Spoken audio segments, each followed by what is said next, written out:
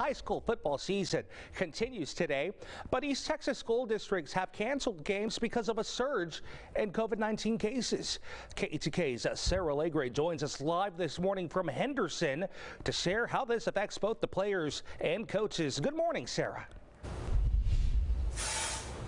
Good morning, Isaac. Now, before the season even started, the idea of football season becoming a reality was something that was uncertain. Now, fortunately, we're a few weeks into the season. Things are slowly getting back to normal, but now it's being put to a halt. Many school districts across East Texas are canceling their football games due to the surge in COVID-19 cases, just leaving players and coaches frustrated. Now, this has been an ongoing pattern throughout the past week. Wednesday, Henderson announced that Kaufman ISD had canceled their Friday game due to the ongoing cases of COVID. Athletic director and head coach for Henderson, Phil Castle, says they'll continue the momentum today with an inter squad scrimmage, giving players more time on the field. Now, although disappointed, they're looking forward to next week's game.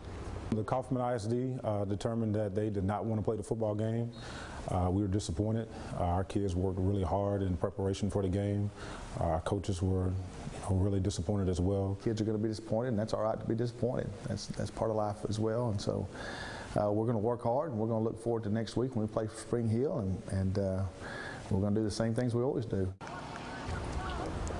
Henderson is not alone. Here's a list of other districts who have canceled games. Tatum ISD canceled on Pittsburg ISD. Hughes Springs announced on Facebook that they've canceled all their games this week, and Winnsboro ISD canceled their homecoming game.